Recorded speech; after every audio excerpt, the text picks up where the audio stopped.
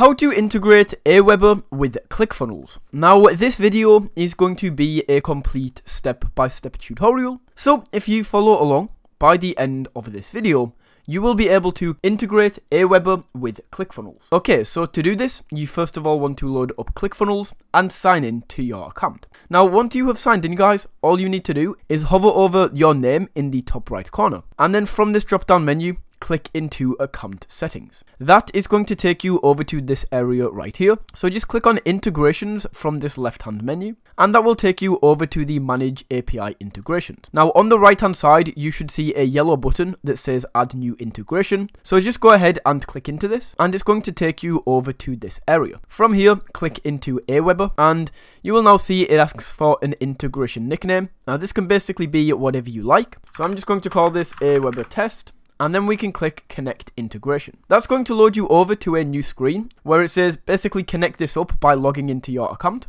So just go ahead and enter in your email and password for Aweber and then we can click allow access. You can see that that is now loaded up and Aweber is connected and that is how you can integrate Aweber and ClickFunnels.